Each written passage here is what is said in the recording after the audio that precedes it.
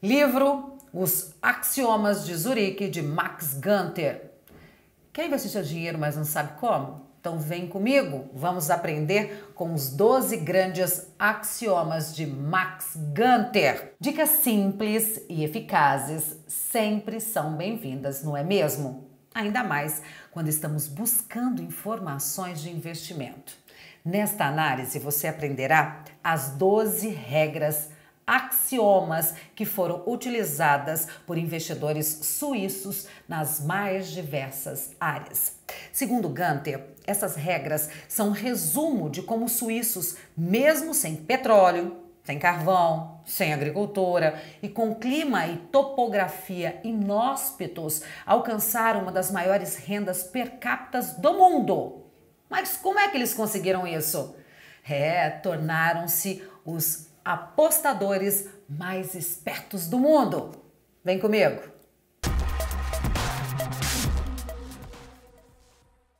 Os Axiomas de Zurique foi escrito por Max Gunther e lançado originalmente em 1985, e ele mostra como investir seu dinheiro usando regras para aumentar o lucro e diminuir os riscos. Esse livro é, um dos grandes sucessos de vendas do Max, possui em sua versão de 2017 um total de 208 páginas. É dividido em 12 capítulos, que são 12 axiomas propriamente ditos, o que torna a leitura bastante objetiva. Para você adquirir a obra completa e ficar dentro de todos os detalhes, entre no nosso blog, lá tem o link que você pode comprar este livro aqui. Bom, só uma curiosidade, eu andei dando uma pesquisada sobre o que significa axiomas. Bom, tem alguns termos, né? Então, algo do tipo verdades inquestionáveis, coisas que foram feitas e que deram certo e que não precisa questionar. Tá ali, foi feito, deu certo. Conceitos, só para você saber, tá?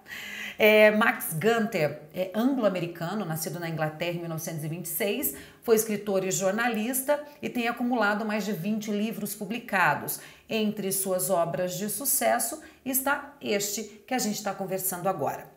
Max se mudou para os Estados Unidos quando seu pai, funcionário de um banco suíço, foi transferido para Nova York para trabalhar como gerente da filial daquele banco. O pai de Max fazia parte de um clube de investimento formado por suíços e foi desse grupo que surgiu o livro que a gente conversa agora e que ele traz então os axiomas.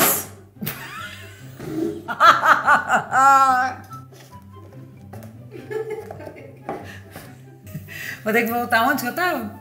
Lado mais de. Respira, Maria.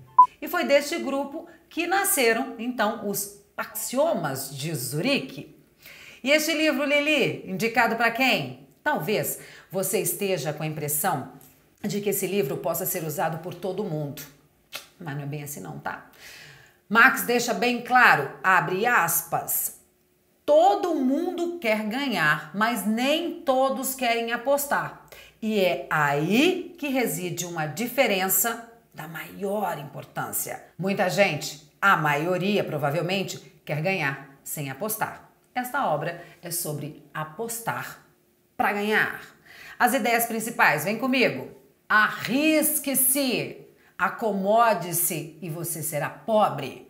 O investidor sempre deve ser frio e racional. Não insista no erro. Ao menor sinal de que as coisas vão mal, desista do investimento. Não acredite em ninguém que diz prever o futuro. As ideias principais são aprofundadas em cada axioma. Em sua obra, Max Gunther exemplifica cada axioma com histórias reais, mostrando cada uma e como elas funcionam na prática. Overview, primeiro capítulo, o primeiro grande axioma. Sobre o axioma de risco, Gunther diz que a preocupação não é uma doença, mas um sinal de saúde. Se você não está preocupado, você não está arriscando o suficiente. O pai dele tinha uma regra que dizia que metade da sua renda deve ser aplicada em investimentos e especulação. Se o seu desejo é evitar a preocupação, saiba, você permanecerá pobre, diz ele. A vida deve ser dinâmica, pois é isso que faz a vida valer a pena. Dica: arrisque-se. Overview 2, o segundo grande axioma. O axioma da ganância fala sobre nunca demorar a cair fora, pois todos sabemos que não é fácil parar quando se está ganhando. Mas segundo Marx, se você dominar a ganância, será melhor que a maioria dos investidores. Lembre-se, se a maioria perdeu e você ganhou, é um vencedor. Nunca seja dominado pela ganância. Overview, o terceiro grande axioma. O axioma da esperança. Ao contrário do anterior, esse é para quando as coisas vão mal. Um especulador não pode ser um torcedor, ele deve se basear somente da razão. O autor diz: quando o navio começa a afundar, não reze, salte, pique a mula, pois o medo de admitir o erro não pode atrapalhar gente. Por isso, não se agarre ao dinheiro investido. Não espere o barco afundar. Pule logo. Overview 4. O quarto grande axioma. O axioma da previsão. Você já desejou ler o futuro? Provavelmente sim, porque eu sim, né? E se você fizesse, seria um homem rico? Com toda certeza, certo? Bom, se aparece um homem profetizando o que aconteceria na bolsa de valores no dia de amanhã, você pararia para ouvi-lo? A maioria das pessoas sim. Mas Max fala o seguinte: no mundo do dinheiro, ninguém tem a menor ideia do que vai acontecer no futuro. Todas as previsões têm as suas possibilidades, mas a chance dela estar errada é maior. Não confie em quem prevê o futuro. Overview 5, o quinto grande axioma. O axioma dos padrões. Não há dúvida de que o mundo do dinheiro é um caos, sem ordem e totalmente sem padrão. Não perca seu tempo tentando achar padrões no mercado de ações. Segundo Max, é possível que esse axioma seja o mais importante. É o axioma imperial. Quando você absorver esse axioma, será suficiente para te separar do rebanho, afastar da vala comum dos perdidos, dos perdedores, cheios de esperanças vãs. Bacana isso, né? O sexto grande axioma. Esse axioma é sobre mobilidade. Quanto mais você procura a sensação de estar confortável, estar familiarizado e cercado pelo antigo, menor será seu sucesso. Nunca existe em deixar um empreendimento que deu errado. Não se agarre a sentimento de fidelidade e nostalgia. É essa a mensagem. Aqui não deu certo. Mude! Sétimo grande axioma: o axioma da intuição. Só devemos considerar um palpite viável se ele tiver uma explicação. Quando você tiver um palpite, tente explicá-lo para você mesmo. Você domina aquele assunto? Tem o conhecimento necessário para tal? Tem acompanhado de perto esse tema? Caso não, esse palpite não se baseia em fatos. Deixe esse palpite para lá. Ele é apenas uma fantasia. Overview 8, o oitavo grande axioma. Esse axioma é sobre religião e ocultismo. Segundo o autor, apoiar-se no sobrenatural tem o mesmo efeito de apoiar-se em previsões e ilusões de ordem. Tem a capacidade de atraí-lo para um estado perigosamente despreocupado. Seja quais forem suas crenças, Deus e outras forças sobrenaturais não devem ter nenhum papel a desempenhar em seu comportamento como investidor. Ele está dizendo o seguinte: acredite nas coisas que existem e acontecem. Tá? A sua fé não tem nada a ver neste caso. Overview 9, o nono grande axioma. Otimismo e pessimismo, esse é o axioma de número 9. Não podemos ser otimistas no mercado de ações. No lugar disso, devemos ter confiança. Ela surge do uso correto do pessimismo. Olha que bacana. Não existe milagre, por isso aceite a realidade e lide com ela. Evitá-la só o impedirá de chegar aos seus objetivos. Overview 10, o décimo grande axioma, é o axioma da maioria. Já disse René Descartes.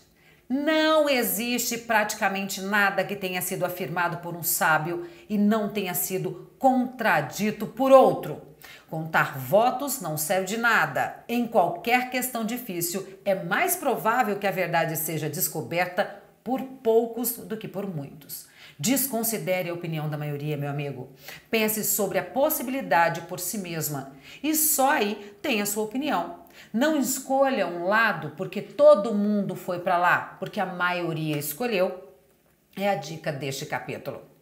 Overview 11, o 11 grande axioma. É o axioma da teimosia. Se começou errado, não pode terminar bem.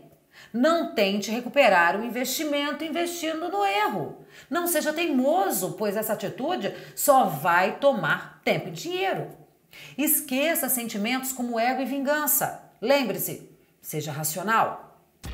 Overview, décimo segundo grande axioma. Aqui estamos nós, no último axioma.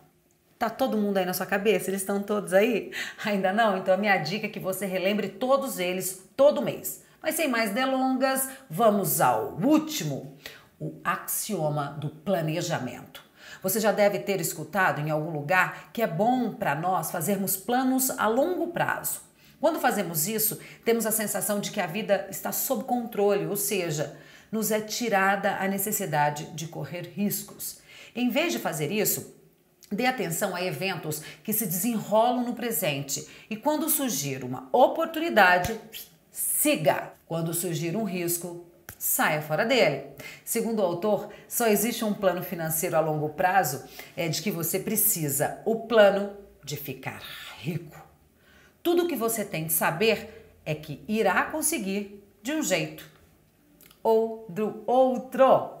Bom, Lili, como é que eu faço para colocar isso na minha vida? Os axiomas são ensinamentos de investidores suíços que têm aplicabilidade em várias áreas, como comércio, negócios, é, negócios imobiliários, ações.